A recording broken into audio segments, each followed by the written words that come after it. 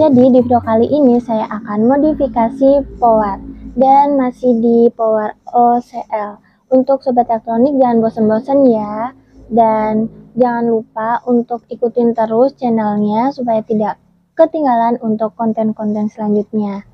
Jadi untuk uh, video kali ini saya akan modifikasi pada power OCL 506. Nah untuk sobat elektronik yang penasaran Ikutin terus ya untuk videonya. Dan sebelum kita lanjut ke videonya untuk sobat elektronik yang belum subscribe jangan lupa untuk di subscribe, di like, komen, dan share. Dan jangan lupa untuk follow instagramnya sobat underscore elektronik. Dan untuk shopee-nya fitrise underscore shop. Jadi untuk drivernya di sini saya menggunakan OCL 506 dan ini untuk drivernya sudah saya modifikasi. Jadi tinggal saya jelaskan apa aja untuk uh, perubahannya. Nah, untuk yang pertama di sini kita mulai dari atas. Nah, ini untuk transistornya saya menggunakan uh, transistor Toshiba. Nah, jadi ini TR driver yang awal mulanya di sini, terus kita pindahkan ke sini.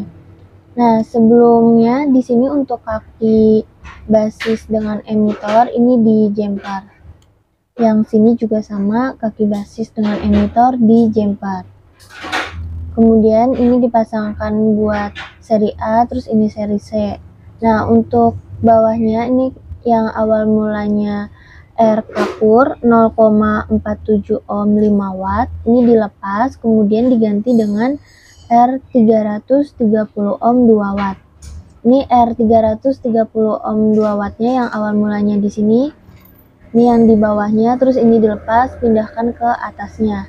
Lalu R kapurnya nanti e, dipasangkan di TR final. Selanjutnya di TR fast. Nah untuk TR fast e, awal mulanya di sini menggunakan KSE 340 nah di sini saya ganti menggunakan transistor seri C4793 nah untuk pemasangannya ini disesuaikan untuk basis dengan basis, kolektor dengan kolektor, dan emitor dengan emitor. Nah, di sini saya ganti karena uh, supaya untuk bassnya itu lebih tebal. Lalu di uh, transistor 2N5401 di sini ada salah satu TR yang menghubungkan ke um, R gain R gain yang menghubungkan ke output. Nah, di sini salah uh, R, TR salah satunya dilepas terus diganti menggunakan um, BD140. Nah, untuk pemasangannya juga sama, disesuaikan dengan basisnya, terus kolektor dan emitornya.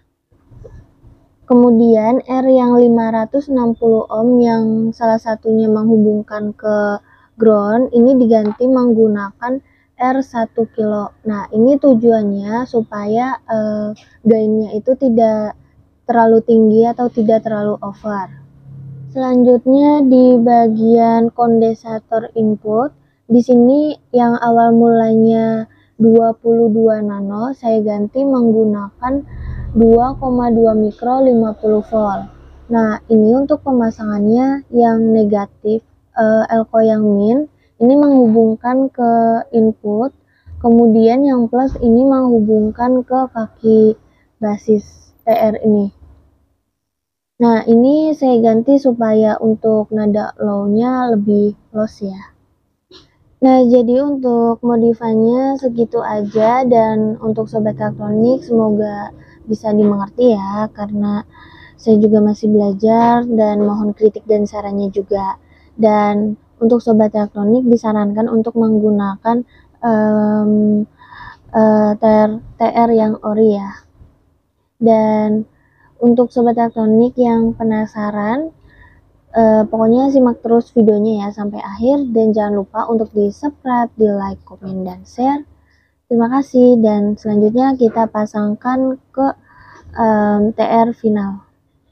Untuk TR finalnya di sini saya menggunakan TR Toshiba 6 set. Lanjut kita pasangkan ke drivernya.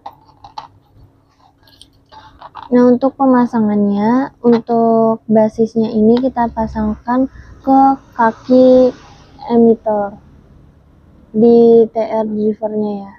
Jadi ini kita pasangkan basisnya.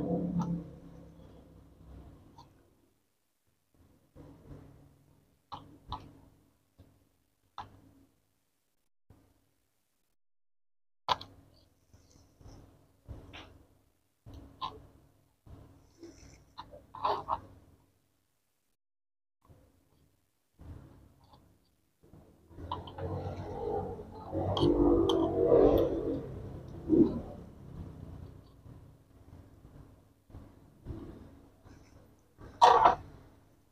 yang ini untuk outputnya. Nah untuk selanjutnya kita pasangkan power supply-nya.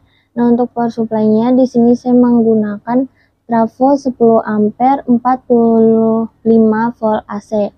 Nah ini trafo hasil rakitan saya sendiri. Nah untuk sobat elektronik yang uh, ingin memilikinya bisa uh, beli di Shopee dan untuk linknya sudah saya taruh di deskripsi.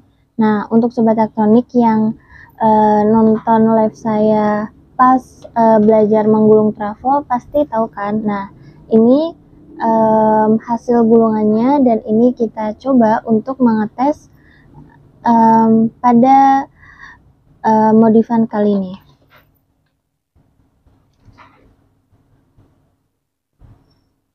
Nah, di sini kita pasangkan untuk supply plusnya.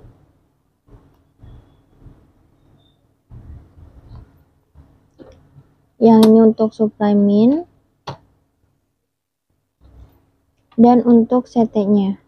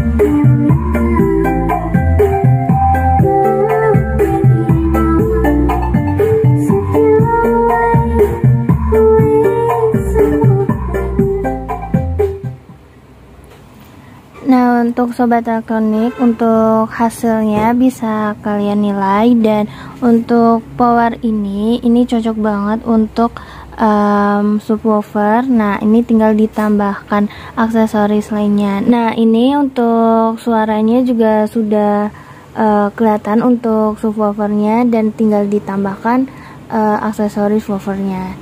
Nah untuk sobat elektronik terima kasih yang sudah menonton video ini sampai akhir dan jangan lupa untuk di subscribe, di like, komen, dan share. Dan kita coba lagi ya